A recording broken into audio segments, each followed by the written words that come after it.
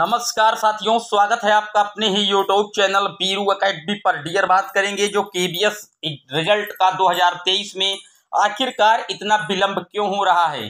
छात्रों के बार बार कमेंट आ रहे हैं कि, सर, जो केबीएस का रिज़ल्ट है वो कब तक आएगा? इसकी फाइनल एंड रिवाइज आंसर की कब तक रिलीज़ होगी? इंटरव्यू का जो प्रोसेस है वो कब से रन में किया जाएगा? बात करेंगे पूरी तरीके से कंप्लीट एनालिसिस है। इसमें बात करेंगे प्राथमिक शिक्षक भर्ती को लेकर के। पीएबी की एक रिपोर्ट आई है और कहीं ना कहीं इस पे पूरे देश की, हर राज्यों की जो शिक्षा व्यवस्था की पोल खोली गई है डियर आइए आपको एक एक डाउट से रूबरू करवाए देते हैं डियर पहले आप देख सकते हैं केबीएस में क्यों आखिर रिज़ल्ट में देरी हो रही है। इस तरीके की कई गड़बड़ियाँ आपको देखने को मिली थी कि अमृतसर में चल रही थी परीक्षा, पानीपत से हल करा रहे थे प्रश्न पत्र पाँच की रफ्तार। आपने देखा था कि जब केबीएस की परीक्षाएँ चल रही थी तब रिमोट के माध्यम से, सेंसर के माध्यम से काफ़ी ज़्यादा जो परीक्षाएँ हैं, उसमें हैकर की एक्टिविटी काफ़ी ज़्यादा थी। इस तरीके की न्यूज़ आपने हर जगह से देखी थी। प्रयागराज में प्रश्न पत्र हल करते समय साल भर पकड़े गए थे। बनारस में पेपर चल रहा था।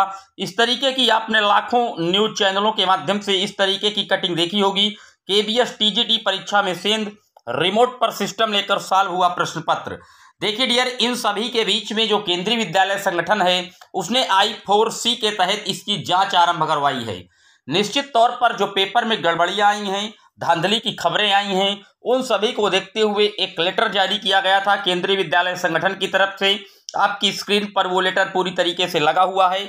इसमें जो उपायुक्त थे केंद्रीय विद्यालय संगठन के, उन्होंने स्पष्ट तौर पर कहा है, देवेंद्र कुमार द्विवेदी जी कि देखिए, अभी केंद्रीय विद्यालय परीक्षा में जो शिक्षकों के द्वारा कुछ हेर फेर की लिप्तता पाई गई है और इसीलिए अभी जो सीबीटी टेस्ट यानी कि कंप्यूटर बेस्ड एग्ज़ाम हुआ था, उसके रिज़ल्ट में और फाइनल आंसर की में थोड़ा समय लगेगा। क्योंकि जो इसकी जाँच है, वो आई फोर सी के तहत की जा रही है और जो गड़बड़ी करने वाले लोग हैं, कहीं ना कहीं उनको पकड़ने की पूरी तैयारी या पूरा प्रयास किया जा रहा है।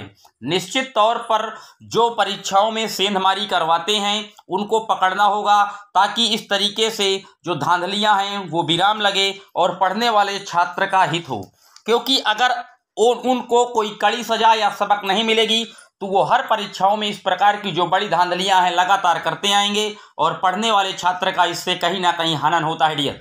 तो केंद्रीय विद्यालय संगठन का अभी ना रिज़ल्ट आएगा, ना उसकी फाइनल कोई आंसर की अभी फ़िलहाल आने वाली है। लेकिन आप लोग इंटरव्यू की तैयारी करते रहिएगा। जिस किसी भी साथी के 120 के ऊपर नंबर हैं, वो सभी साथी इंटरव्यू की प्रिपरेशन करते रहें, क्योंकि जैसे ही फाइनल आंसर की रिलीज़ होगी, रिज़ल्ट रिलीज़ होगा, फिर केंद्रीय विद्यालय ज़्यादा समय नहीं देगा आप लोगों को इंटरव्यू की प्रिपरेशन करने के लिए। बात कर लेते हैं अगली खबर की। तो अगली खबर आप देख सकते हैं समग्र शिक्षा की पीएबी की बैठक में आंकड़ों से खुलासा हुआ है।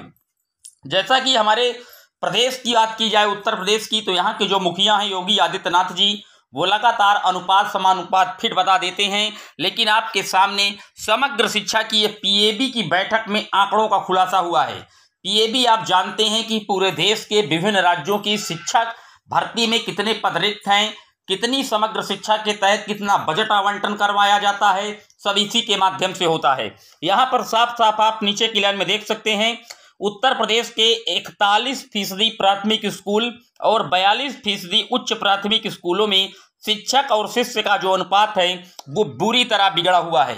निश्चित तौर पर जो योगी सरकार है, वो लगातार कह रहे हैं कि हमारे यहाँ अनुपात, समानुपात एकदम सत्य है, लेकिन पीएबी की रिपोर्ट की खुलासों के द्वारा ये ज़रूर कहा जा रहा है, उत्तर प्रदेश में कितने पद रिक्त हैं, यहाँ पर पूरी तरीके से हर राज्य का जो डाटा है, वो पूरी तरीके से कंप्लीट एनालिसिस के माध्यम से दिया गया है।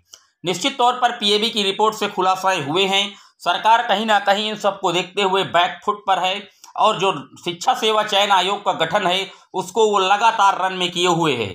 उसके बाद आपको प्राथमिक शिक्षक भर्ती देखनी पड़ेगी क्योंकि लोकसभा का चुनाव लगा हुआ है।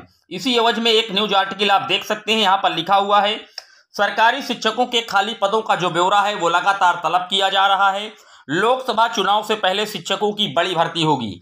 दरअसल ये न्यूज़ पहले की है, लेकिन मैं आपको बता दूँ, ये न्यूज़ एकदम सत्य साबित होगी। 2024 में लोकसभा चुनाव के पहले सरकार एक बार बड़ी प्राथमिक शिक्षक भर्ती ज़रूर करेगी। इसके लिए उसने आयोग के जो गठन को मंजूरी है, वो दे चुका है और उसके बाद यूपी टेट का आयोजन होगा और फिर एक बड़ी भर्ती ज़रूर सरकार के माध्यम से की जाएगी। क्योंकि शिक्षक भर्ती के लिए आप देख रहे हैं, धरना प्रदर्शन सो कोर्ट का दरवाज़ा हो पीएबी की रिपोर्ट हो, हर जगह से सिर्फ़ एक ही बात निकल कर आ रही है कि जो छात्र शिक्षकों का अनुपात है, वो पूरी तरीके से विफल है, फेल है और कहीं ना कहीं इसके लिए सरकार को नई प्राथमिक शिक्षक भर्ती उत्तर प्रदेश में हर हालत में करनी होगी।